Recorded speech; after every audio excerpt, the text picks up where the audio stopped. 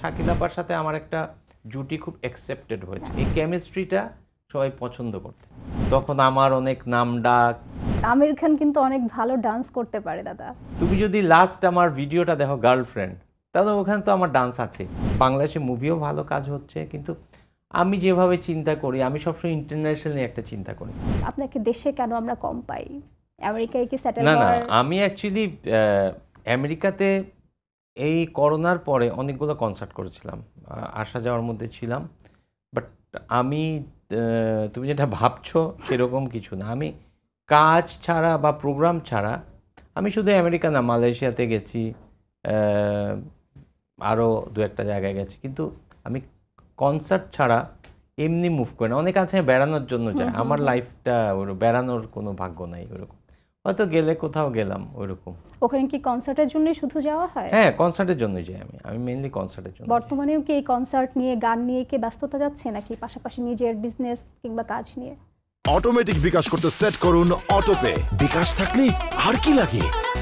Actually সেলিব্রিটিদের বিজনেসটা তো সবসময় আহ, মানে এটা আজকে যদি হয়। তোমাকে জিজ্ঞেস করে যে মাইকেল জ্যাকসনের কি বিজনেস ছিল তুমি বলতে পারবে বা শাহরুখ খানের কি বিজনেস না কিন্তু তাদের অনেক অনেক টাকা আছে আমরা এটা জানি। ওরা তো বাইরের celebrity they are so rich বাংলাদেশের সেলিব্রিটি বলে কি দাদা টাকা থাকতে পারে না। বাংলাদেশের সেলিব্রিটিরা এত রিচ না। বাংলাদেশের মার্কেট ইজ সো লিমিটেড এটা অনেকের ধারণা।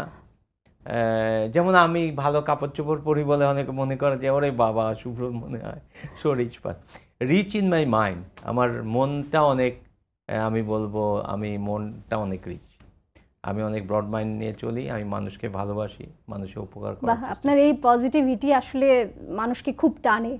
যে কোনো মানুষই কিন্তু আপনার এটার প্রতি বেশি আকৃষ্ট হয় আর কি। যেহেতু আপনি সেলিব্রিটি ব্যক্তিগত জীবন নিয়ে নানান ধরনের কথা থাকে। আপনাকে নিয়েও কিন্তু নানান সময়ে নানান মানুষের নাম জড়িয়েছে। আমরা যদি একদম খুব ক্লিয়ার করে বলতে যাই যে ঋতুপর্ণাকে নিয়ে আপনার সাথে একটা সম্পর্কের গুঞ্জন উঠেছিল এরপর শাকিলা জাফর আপা। গুঞ্জনটা যখন আপনার কানে আসে কিংবা আপনি চোখে দেখেন পড়েন তখন এটা কি পারিবারিক ক্ষেত্রে কোনো প্রভাব ফেলে কি? না না গুঞ্জনটা তখনই মানুষকে এফেক্ট করবে। যখন গুঞ্জন যদি সত্যি হয়, তখন একজন মানুষের রিয়াকশন লেভেলটা বেশি। ঋতুপর্ণা আমার সাথে প্রথমে অ্যাকচুয়ালি হয়েছে কি ঋতুপর্ণা যে ঘটনাটা, আমার খুবই কাছের সাংবাদিক বেছে নেই। আওলাদ আওলাদ ভাই এটা কাভার স্টোরি করেছে টেলিভিশন পত্রিকা শুভ্র ঋতুর সম্পর্ক। তখন কিন্তু এত আপডেটেড ছিল না। এবং আমাদের দুইজনের ছবিটা জোড়া দিয়ে খুব সুন্দর একটা ক্লোজ কাভার করেছিল। আমার মনে আছে। তখন কিন্তু এত এই যে এখন হ্যাঁ, হ্যাঁ এসে এটা করেছিল নাইনটি নাইন টু থাউজেন্ড অনেক বছর আগে।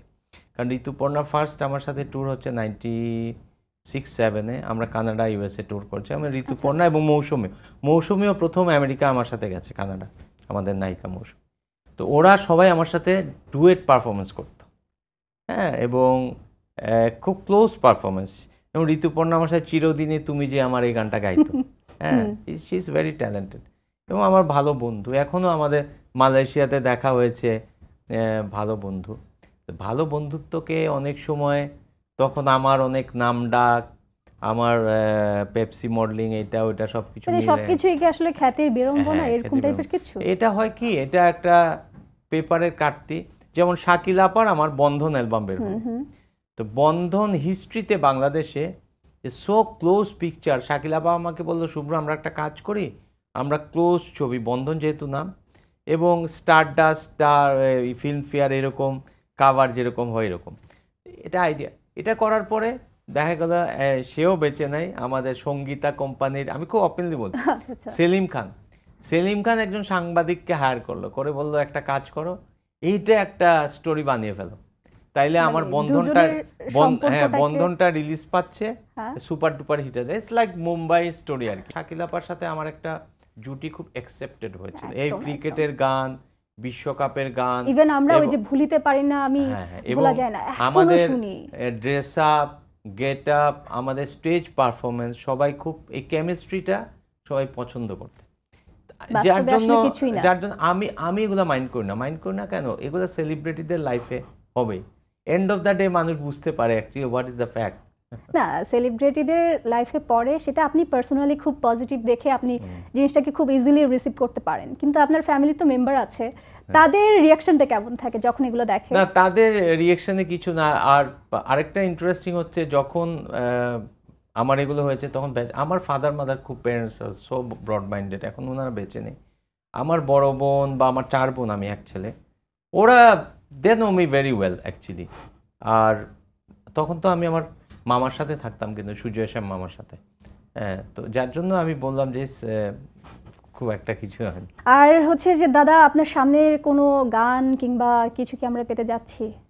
হ্যাঁ আমার আমি এবার আমেরিকায় গিয়ে চারটা গান কম্পোজ করেছি। আমি ইচ্ছা ছিল পূজার মধ্যে রিলিজ দেওয়া বাট মনেও না হবে বাট দু মাসের মধ্যে আমার চারটা গান রিলিজ পাবে নতুন গান মানে অ্যালবাম হ্যাঁ। চমৎকার।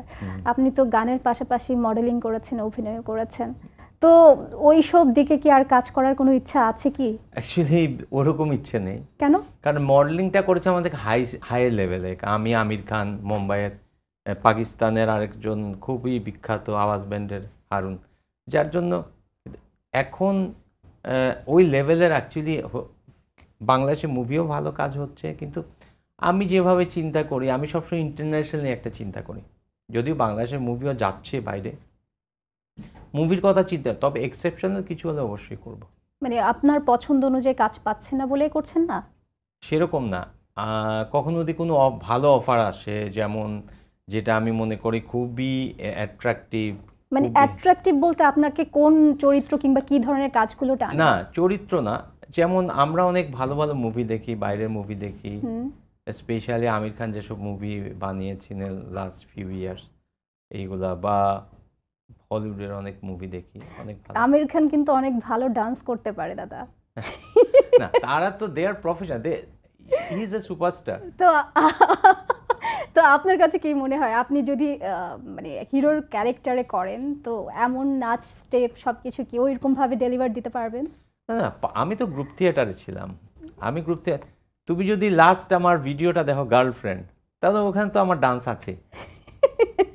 এছাড়াও আমরা বিভিন্ন ধরনের ওই যে মাইকেল জ্যাকসনের সাথেও আপনাকে দেখেছিলাম উনিও তো সিঙ্গারের পাশাপাশি গুড ডান্সার মাইকেল জ্যাকসন তো হচ্ছে গিয়ে গুরু তার সাথে কারও তুলনা হয় না ইজ আনপ্যারালাল যাক তাহলে পছন্দের চরিত্র কিংবা পছন্দের কাজ যখন পাবেন তখনই গিয়ে আপনি রিসিভ করবেন তো? এক্স্যাক্টলি আর একদম এই অভিনয় জগতে আসলে শুরুটা কীভাবে হলো আপনার? যখন আমি স্কুলে পড়তাম যেমন ছুটির ফটিক চরিত্র আমি করেছি হ্যাঁ। ঝড়ের মেইন মেইন ক্যারেক্টার করতাম। দেন আমি ঢাকায় নাগরিকে নাগরিকে যে নূর ভাইদের আসাদুজ্জামান নূর আলী জাকের তখন আবুল হায়াত সবাই মানে এক- এক গ্রুপ ছিলেন। তো লাকি নাম এনাম ভাই জামাল উদ্দিন হাসান ওনাদের গ্রুপে আমি ইয়ংগেস্ট মেম্বার ছিলাম। আমি তিনটা নুরুল দিনের সারা জীবন অচলায়তন এবং এই এই নাটকগুলো আমি আমি গভর্নমেন্ট ডেলিগেশনেও কিন্তু আমি কি মহিলা সমিতিতে স্ট্রেচ করেছি অনেক অনেক বছর তখন আমি ছোটো ছিলাম। দেন আমাকে দিয়ে প্রথম বেগম মমতাজ হোসেন যেটা এই সকাল সন্ধ্যার যিনি হ্যাঁ হ্যাঁ। তো উনি আমাকে বললেন যে শুভ্র করতে হবে একটা সিরিয়াল তো সেই সিরিয়াল দেখতে গিয়ে জগন্নাথ হলের ছাদ ভেঙে পড়ল এবং আমি সিরিয়ালটা ছেড়ে। আপনার ভক্ত অনুরাগীদের উদ্দেশ্যে যদি চার লাইন গান আমাদেরকে আচ্ছা আমি গাইছি আমার একটা নতুন গান খুবই এটা সবাই খুব প্রশংসা করেছে রোমান্টিক গান। এটা গত বছর ভ্যালেন্টাইন্সে মুক্তি দিয়েছিলাম। এটা আমার লেখা এবং সুর করা। অবশ্যই বাড়ছে প্রেম আমার অন্তরে। তোমার সব কিছুই আমার। মন কাড়ে, তুমি জানো না, ও, তুমি বোঝো না। তোমাকে আমি ভুলি কি করে? বাড়ছে প্রেম আমার অন্তরে। তোমার সব কিছুই আমার মন কাড়ে। তুমি জানো না ও তুমি বোঝো না। তোমাকে আমি বলি কি করে